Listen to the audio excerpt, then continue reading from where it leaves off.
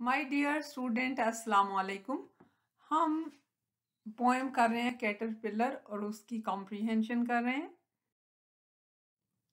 Adjective of origin adjective to indicate nationality and community वो adjective जो हमें किसी चीज़ की नेशनैलिटी बताता है, कौन सी कंट्री से है या कौन सी कम्युनिटी से है तो उसको हम एडजेक्टिव ऑफ़ ओरिजिन कहते हैं। Shazia likes to eat Australian apples Australia जो है वो एक कॉन्टिनेंट बर आज़म का नाम है। एप्पल्स ऑस्ट्रेलिया के apples Australian apples Shazia likes to eat Australian apples Shazia को ऑस्ट्रेलियन एप्पल खाना पसंद है। ऑस्ट्रेलिया के बारे में थोड़ा सा जानते हैं। Australia is one of the largest countries on earth ये दुनिया का सबसे बड़ा मुल्क है and the only country that covers an entire continent और ये वाहिद मुल्क है जो पूरे बर आज़म पे मुश्तमिल है। ऑस्ट्रेलिया एक पूरा बर आज़म है। आपको पता है कि सेवन बर आज़म है, उनमें से एक ऑस्ट्रेलिया है। Australia is called the country of kangaroos because the population of kangaroos in this country is more than 25 million people of this country. इसको कैंगरू का मुल्क भी कहा जाता है क्योंकि यहाँ पे कैंगरूज की तादाद लोगों की तादाद से ज़्यादा है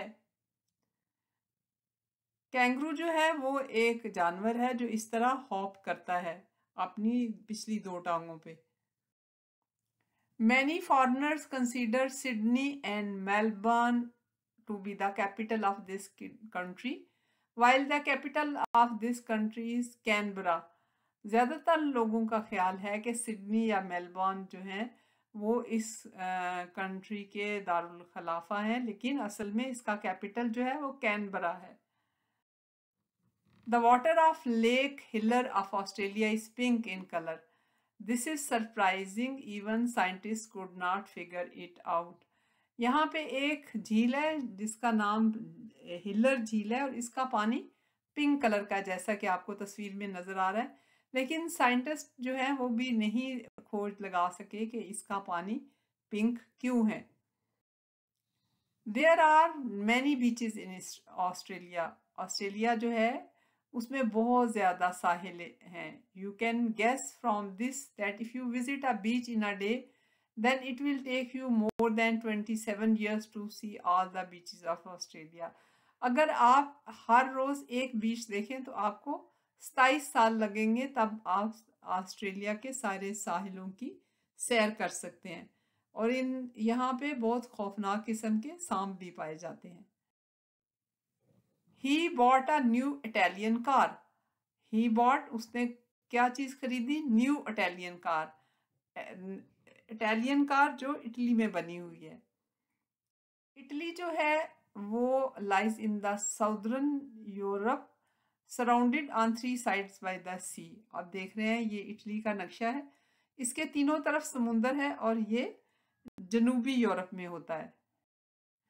The capital city of Italy is Rome Rome जो है, वो इटली का कैपिटल सिटी है। यहाँ पे पुरानी इमारतें भी हैं और नई इमारतें भी। Mount Vesuvius is one of the world most dangerous volcanoes ये दुनिया का सबसे खतरनाक आतिशफशां है जो इटली में वाक़ है। Over 1 million people visit the Leaning Tower of Pisa each year. Pisa tower भी जो है वो इटली में है और तकरीबन एक मिलियन पीपल यहाँ विज़िट करते हैं। Pakistani culture is a diverse culture Pakistani culture जो है वो बहुत ज़्यादा मुख्तलिफ़ है। तो प्यारे बच्चों, पाकिस्तान में बलोची, सिंधी, पख्तून और पंजाबी कल्चर है। लेकिन एक चीज़ हम सब में कॉमन है, जिसके ऊपर हमें नाज है कि हम सब मुसलमान हैं। Maha wants to buy a beautiful Multani dress Maha जो है, वो मुल्तानी ड्रेस जो है, वो ख़रीदना चाहती है। तो मुल्तान जो है, वो पाकिस्तान के जनूबी पंजाब में एक बहुत मशहूर शहर है। तो वहाँ के बने हुए ड्रेस को मुल्तानी ड्रेस कहा गया है। अब now use the given adjectives in the sentences of your own ये ब्रिटिश पाकिस्तान स्पेनिश कनेडियन और अमेरिकन ये एडजेक्टिव्स हैं, इनको आप अपने अपने सेंटेंसेस में यूज़ करना है। British relating to Great Britain or the United Kingdom Kingdom वो लोग जिनका ताल्लुक बरतानिया से होता है, बरतानिया को यूनाइटेड किंगडम भी कहते हैं, उनको ब्रिटिश कहते हैं। Where is the British embassy आपको पता है कि हर मुल्क की जो है वो एम्बेसी होती है तो पाकिस्तान की पाकिस्तान में ब्रिटिश एम्बेसी इस्लामाबाद में है। तो where is the British embassy हमने इसको सेंटेंस uh, में यूज़ किया। Pakistan I love Pakistan. मुझे पाकिस्तान से प्यार है।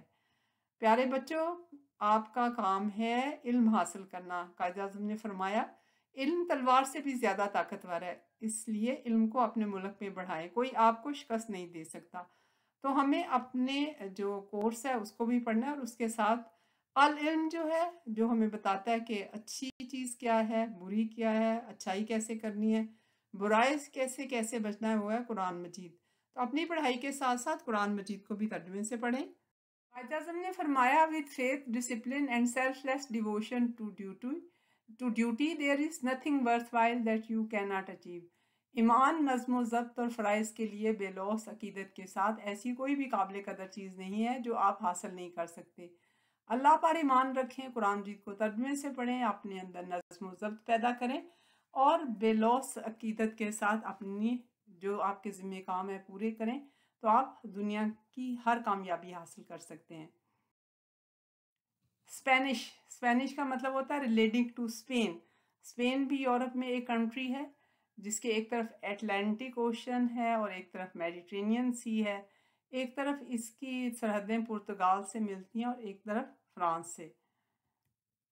Spain sits in between the Mediterranean Sea and Atlantic Ocean Spain shares borders with Portugal and France he speaks English and Spanish as well वो बहुत अच्छे तरीके से इंग्लिश भी बोलता है और उसको स्पेनिश भी आती है।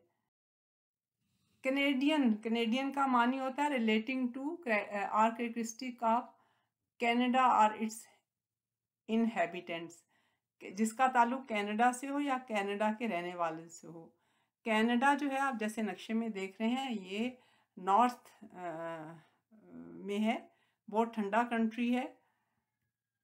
ये कनाडा का झंडा है। Canadian flag is red and white in colour तो हमने कनेडियन एडजेक्टिव को सेंटेंस में यूज़ किया। फिर है अमेरिकन अमेरिकन है relating to or characteristic of the United States of or of its inhabitants America को यूनाइटेड स्टेट्स ऑफ़ अमेरिका भी कहते हैं, क्योंकि ये इसका झंडा है जिस पे रेड स्ट्राइप्स हैं और सितारे हैं। 52 स्टेट्स हैं जो मिलके यूनाइटेड स्टेट्स ऑफ़ अमेरिका बनाती हैं। और उनकी रिप्रेजेंटेशन जो है अमेरिका के झंडे पे सितारों की शक्ल में है।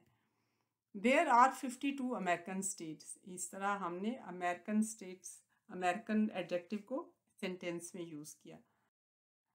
तो उम्मीद है आपको ये वीडियो पसंद आई होगी। इसको लाइक करें शेयर करें और चैनल को सब्सक्राइब करें।